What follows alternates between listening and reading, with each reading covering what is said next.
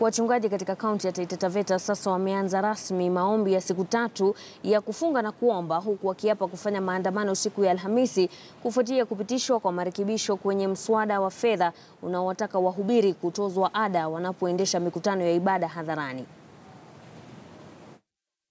Mara kwa mara mabunge ya kaunti yamesutwa kwa kupitisha sheria tata ambazo huonekana kukiuka haki za wakazi. Katika kaunti ya Taita Taveta, huenda wakazi na hasa Wakristo wakakosa fursa ya kufanya mikutano ya Injili au hata wahubiri kutoka nje ya kaunti na nchi baada ya kaunti ya bunge la kaunti hiyo kupitisha mswada unayoyataka makanisa yote kutoa ada kwa serikali ya kaunti. Serikali kuu haikodi ni hailipishi kanisa kodi.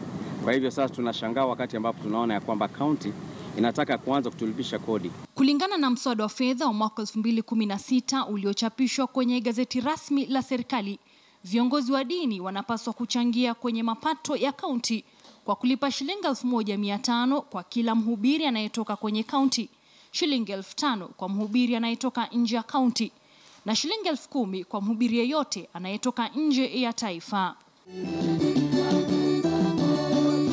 Mswada ambao umezua tumbo joto miongoni mwa wachungaji wa kaunti hiyo na wameapa kufunga kwa maombi ya siku tatu kabla ya maandamano hapo siku ya Alhamisi.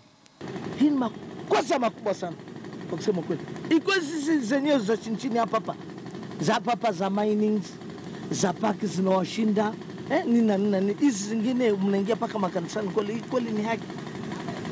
Wangetuita sisi tukajadiliana, tukaona kile ambacho tunaweza kukubali na kile ambacho tutaona ya kwamba si sawa. Hawakufanya hivyo.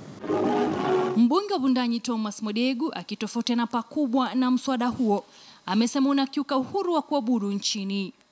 kama inaweza kuconvert ama kugeuza waizi kumi waache kutumia pesa za serikali kuwalinda na kuwakimbiza huko na huko, basi mapasa ndio angekuwa anafaa angalau wao wakipatiwa bakshishi kwa kugeuza hawa wevi. Kweli hii injili kweli itaendelea kweli?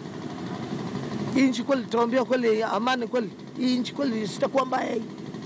Mmoja wa wanachama wa kamati ya fedha akizungumza kwa njia ya simu, hata hivyo, amepuzilia mbali madai kwamba wachungaji hao hawakuhusishwa kwenye uamuzi huo. sisiliwa kesho KTN leo.